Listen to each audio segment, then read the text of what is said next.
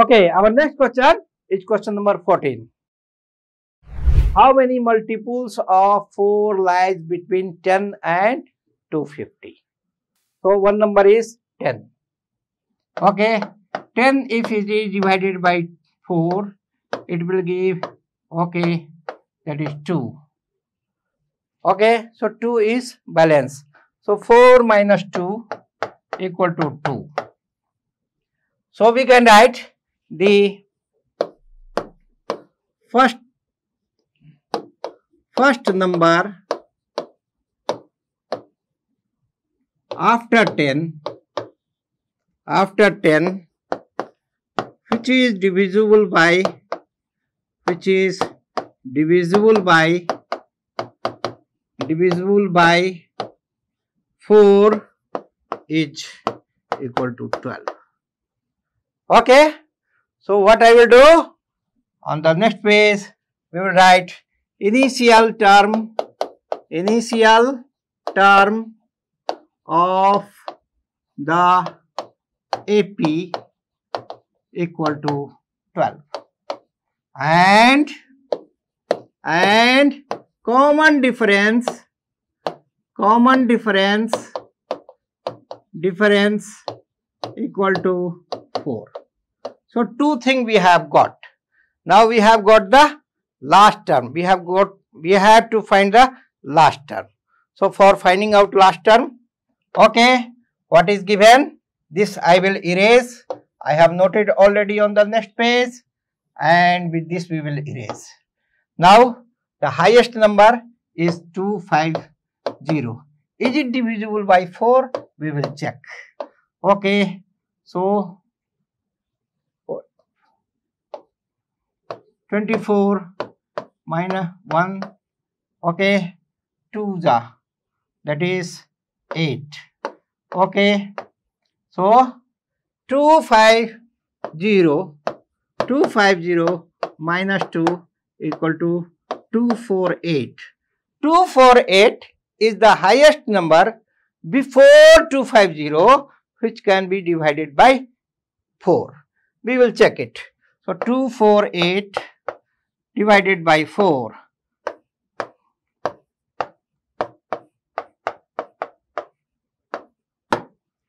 Okay, so last term will be 248. So that also we will write.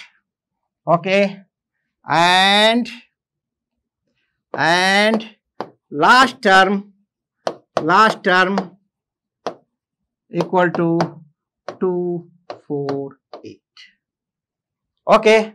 So our ap our ap is that is 12 16 20 24 and 2 4 8 okay. Now what is the term? What type what number of term is 248 let let the term 248 be nth term. Nth term. Okay? So we know that nth term that is 248 equal to a plus n minus 1 into d. That is equal to a is 12 a is 12 plus n we have to find n minus 1 into d is 4 okay?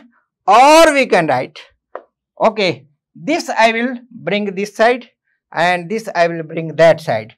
If you do that way we will write that is n minus 1 into 4 equal to 248 minus 12 that is equal to so 6 and from 3 from 4 if 1 is going that will be 3 and 2 okay. So again or or we can write that is n minus 1 n minus 1 equal to 2 3 6 divided by 4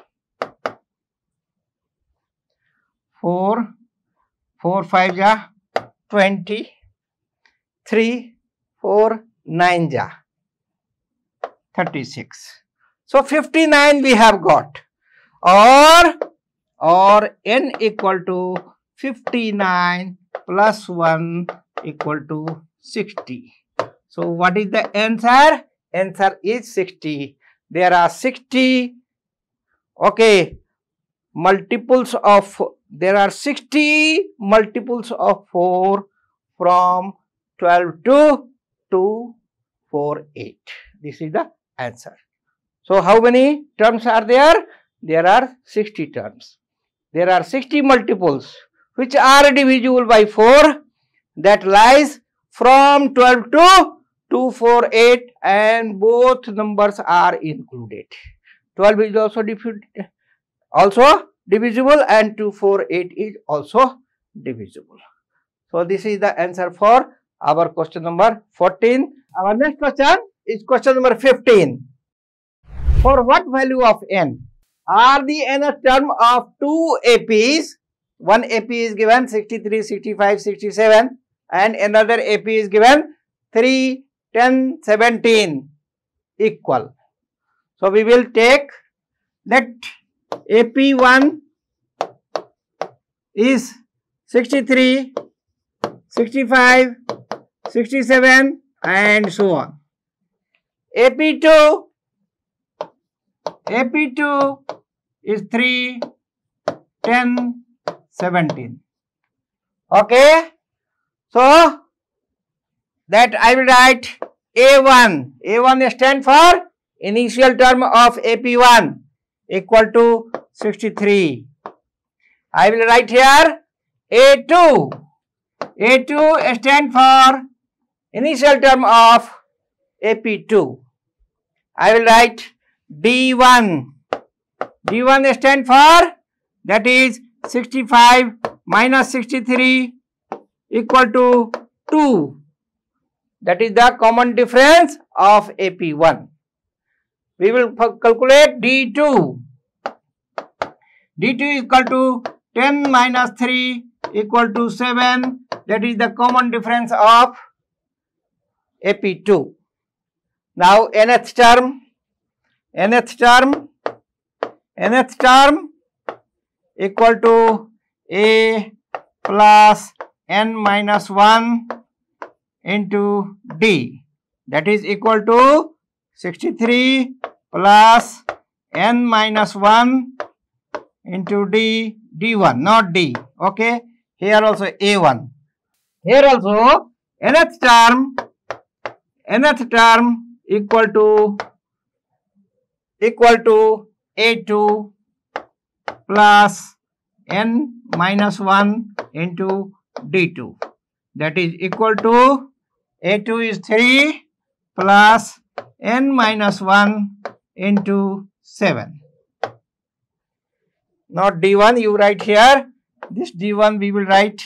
What is the D1 D1 is 2 now as per question both values are same. And what will be the n? So we will draw a line and we will solve. That is 63 plus n minus 1 into 2 equal to 3 plus n minus 1 into 7. This we have to solve. Okay. So, what we will do? We will expand the, okay, bracket we will break first. So, we will write 63 plus 2n minus 2 equal to 3 plus 7n minus 7 or we can write this we will bring this side and all number we will bring this side. So we will write or 63 minus 3 minus 2 plus 7 equal to 7n minus 2n further we can write this will give you 5n so we will change the side 5n equal to this we will do. So 5 plus 2. So this is 70 minus 5. So 65 equal to 65 or n equal to 65 by 5 equal to 13. So 13th term of AP1 and 13th term of AP2 will be equal. This is the answer. Okay. So we can write the answer. For writing the answer, we will write here. I need a space, so I am erasing this much portion and I will write the 13th term 13th term of AP 63, 65, 67 and and AP AP that is 3, 10, 17 will be equal will be equal and this is the answer of our question number 15. Now we'll see the next question that is question number 16. Here we will end this video. Further discussion will be in our next video.